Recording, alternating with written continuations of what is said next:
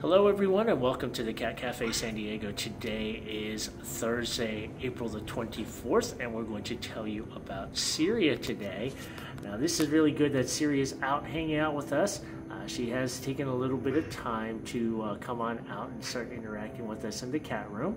Um, she's a friendly girl, and uh, there were 20 cats living with her in a home. Uh, when the person got evicted, uh, the cats just went out on the street, so they were fending for themselves. Um, and they weren't doing too good of a job of it, uh, living in an alley.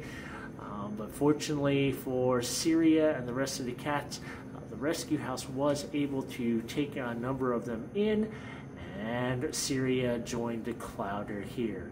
Now she is still a little cautious, but once you get to know her, she's really sweet. I'm going to try to pet her a little bit. Well, that's not happening today. You can see she is still a little skittish.